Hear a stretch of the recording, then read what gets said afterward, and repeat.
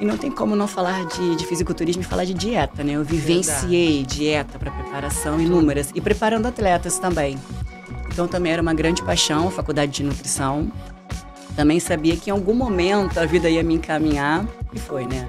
Através do meu currículo de atleta, meu, meu histórico de títulos e vitórias, Fui pleitear uma bolsa na faculdade Estácio. Uhum. Consegui 100% de bolsa. Que legal. Fiz parte do time de atletas olímpicos e paralímpicos da Estácio. E cursei toda a minha faculdade com... Você vê onde que o esporte pode nos levar, né? É, com Às certeza. vezes traz muito mais do que o dinheiro pode comprar, entre aspas, né? Eu então, através acho. de uma análise de currículo, da sua performance ali é, atlética, me trouxe uma outra, uma segunda profissão, uma segunda carreira. E agora eu tô aqui, como Entendi. nutricionista também e ajudando tantas mulheres nessa fase, né?